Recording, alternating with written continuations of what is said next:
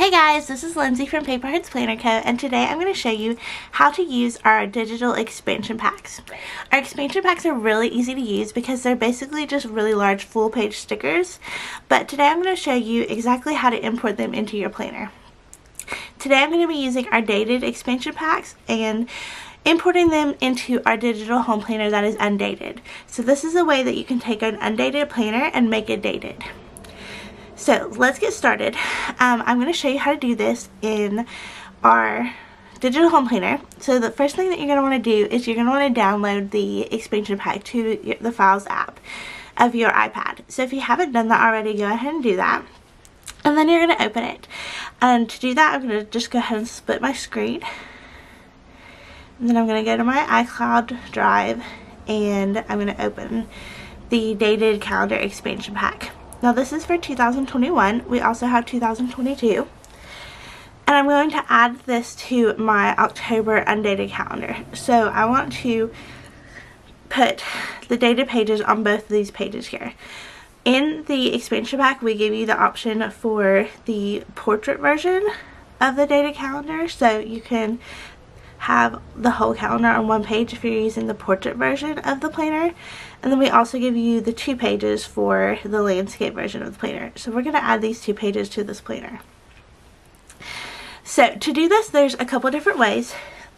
The first thing you can do is just drag and drop them over onto your planner and then resize them by expanding the image.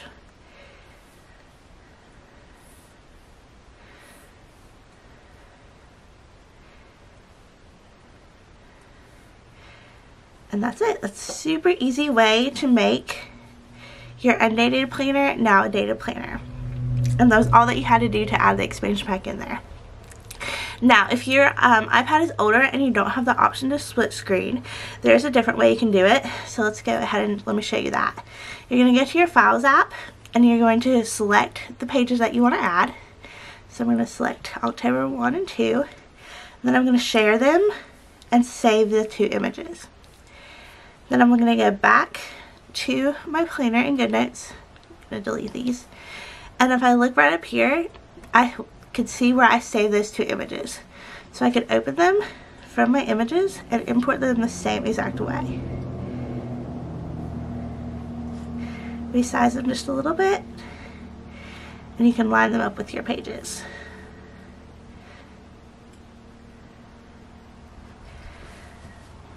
And that's it. That's a simple and easy way that you can add our dated expansion pack, pack to your planner. Now let's talk about how that you do this in NoteShelf because you can use NoteShelf on an iPad as well. So I'm going to open NoteShelf and I want to add those same two images to this undated planner. So what I'm going to do, I'm going to go up here to the plus button and go to photos and then I'm going to photo library, all photos, and select those two images that I want to add. Going to pull this over here, and pull this one over here, and then resize them. Resizing them is not as easy in NoteShelf as it is in GoodNotes because the lines go away, but it's definitely doable.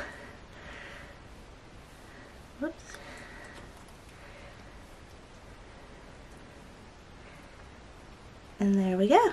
That is how you import them into your NoteShelf app. If you guys have any questions, feel free to let me know.